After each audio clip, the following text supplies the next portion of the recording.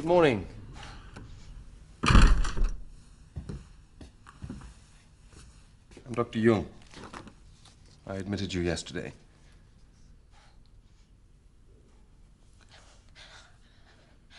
I'm not. I'm not mad, you know.